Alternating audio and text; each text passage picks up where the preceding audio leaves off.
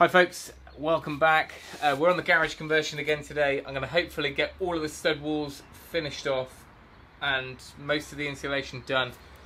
So stick around, we'll see how we get on.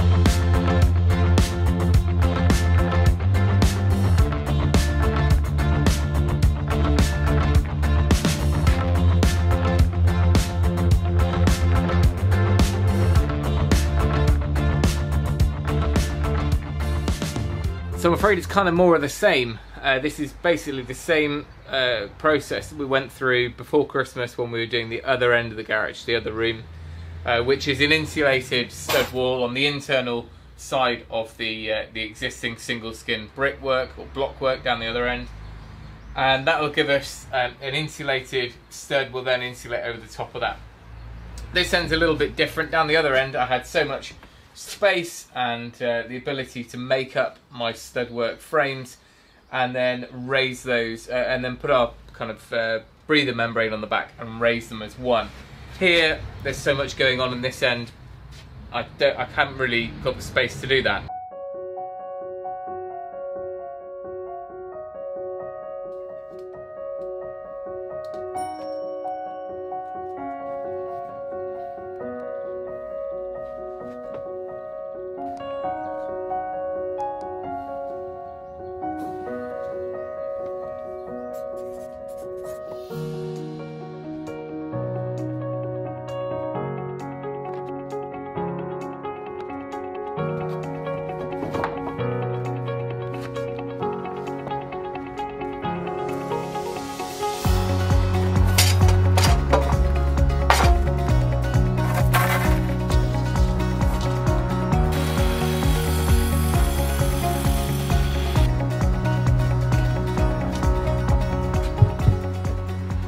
So just in case any of you haven't seen the other videos, these are not structural in any way, these studs. Um, these are basically infill panels to carry our insulation, to fix our stud work to, and in this instance there'll be some cabinets going up.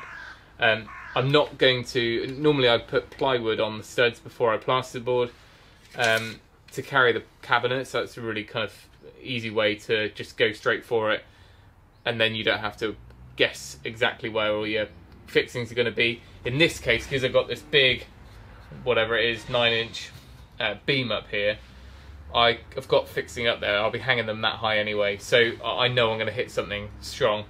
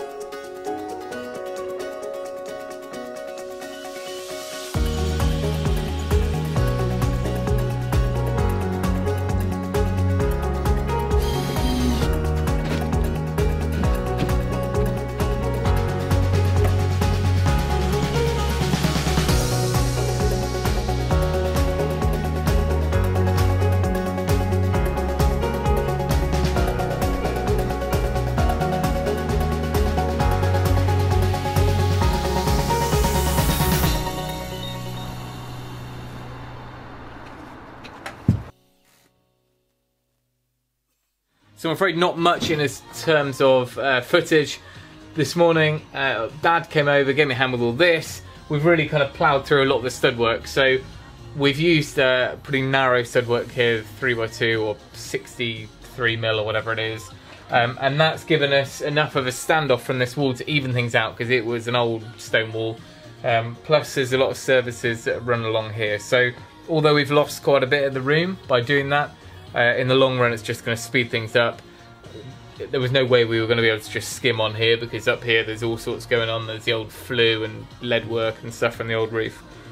So that's given us that. I've also had an electrician over and that was helpful because um, although I'd love to do everything myself, there's certain things you've got to give over to uh, the pros. Turn this radio off. Certain things you just have to let go of. Um, you know, you can try and do everything yourself, and I could have done it and got things working safely. But if we've got to tick all the boxes, because this is a building regs um, under a building notice for a garage conversion, everything's got to be done properly. So uh, I'm going to get that quote through. It's probably going to hurt reading it, but uh, it just it's done. You know, it'll be a couple of guys come in one day, smash out first fix, and then we can get on with plasterboarding. So I'm just gonna have to let it go. Um, but as far as stud work goes, we're on it. Uh, load of noggins to do now, and we should just have enough timber. Then I can get on with insulation. I think what I'll do is I'll cut and fit all of my insulation between the stud walls uh, and between the noggins and stuff but leave them not put that second layer on yet so the when the guys come in into the electrics if they need to pop them out they can just pop them out pop them back in again but it's time for some man glitter I've even got my t-shirt on today so uh, let's get on with the noggins right 10 minutes until I'm on daddy duty so we're not going to get it done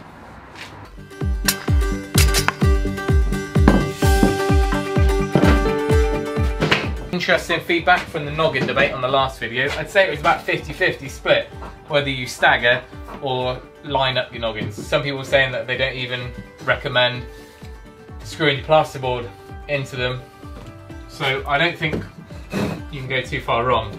I am staggering them on these simply because I'm using a nail gun and it's just a little bit easier to get things in.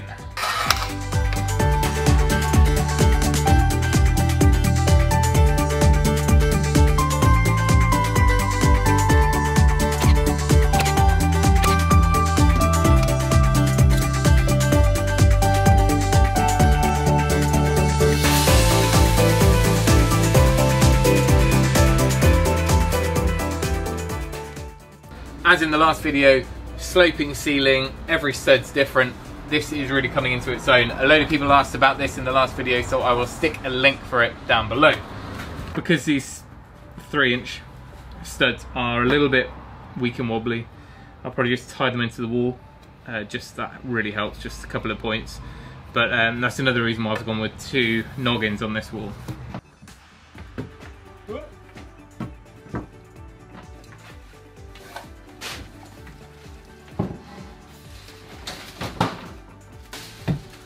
I need a flipping barn, not a workshop.